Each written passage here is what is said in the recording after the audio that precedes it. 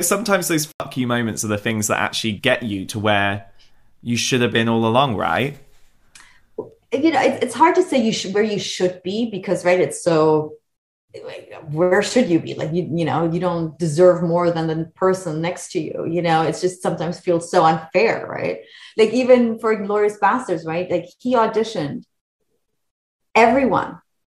He didn't want to audition me because he saw a movie that I was in he didn't like. You know what I mean? So he didn't believe in me from the get go. And literally, the only reason he auditioned me is because there was no one left to audition, right? I had to fly my, pay for my own flight from New York to go to Germany because he wouldn't, even though obviously he's American, but he wouldn't see me in the US, right? So like I had to jump through all these hoops that definitely put my nose at a joint. But I was like, you know what?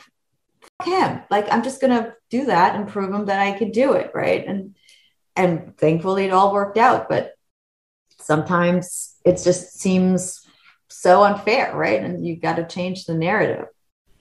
Oh my god, the gratification from that, yes, mm-hmm. must have been like something else.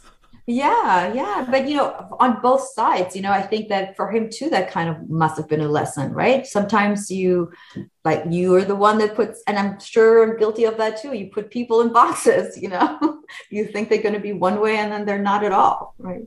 Totally. And that's what comes from navigating through life and being open to other people, yeah. isn't it? And just realizing that, like I always say this, that the way you move through life and yeah. the people you meet, if you go through it with an open eyes, like you were saying earlier about what you want to teach your daughter, you will find so many lessons and so many learnings in so many different people in times when you never would expect it.